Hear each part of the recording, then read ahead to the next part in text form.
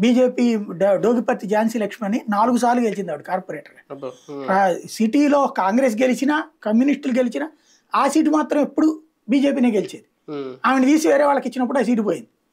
అట్లాగా ఐ నాలుగు టర్మ్స్ గెలిచినటువంటి సీటు అసలు విజయవాడలో అసెంబ్లీకి ఎప్పుడు బీజేపీ గెలవలేదు కానీ ఉమ్. ఉనికంటూ ఉన్నటువంటి సీటు విజయవాడ వెస్ట్.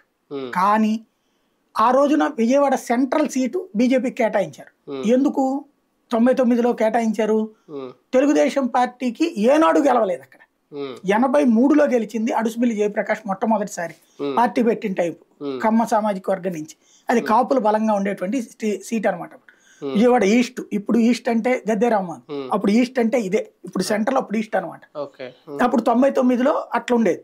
అప్పుడు ఆయన దగ్గరికి ఈ నెల్లి ఏం చేశాడంటే బీజేపీ లోకల్గా ఉన్నటువంటి కొంతమంది ఉన్నారు నాయకులు. ఎప్పటి నుంచినో తరతరాలుగా ఉన్నవాళ్ళు వాళ్ళు ఆయనకి సహకరించేవాళ్ళు కాదు పైనుంచి దిగుమతి అయ్యాడని. అప్పుడు చివరికి వెళ్ళి పార్టీ ఆఫీస్ ఆర్ఎస్ఎస్ ఆఫీస్ దగ్గరికి వెళ్ళి చేతులు దండం పెట్టి అయ్యా నేనేం చేయాలి నాకు అర్థం కావట్లేదు అవతలేమో ఐలాపురం ఓనర్ వెంకయ్య. కోటి రూపాయలు ఖర్చు పెట్టాడు ఆ రోజుల్లో ఆయన. ఈయన దగ్గర అంత పెట్టే ఆ రోజుల్లో కోటి అంటే ఎక్కువ తొంభై తొమ్మిది అంటే. ఆయన కోటి రూపాయలు కోటిన్నర ఖర్చు పెట్టడానికి ఆయన సిద్ధంగా ఉన్నాడు నా పరిస్థితి ఏంటి ఇట్లాగా నేనేం పది లక్షలు కూడా లేదు నా దగ్గర అని చెప్పాడు. అంటే నువ్వు నీ పది లక్షలతో రోజు నీ వెనకాల తిరిగే వాళ్ళకి భోజనాలు పెట్టుకో.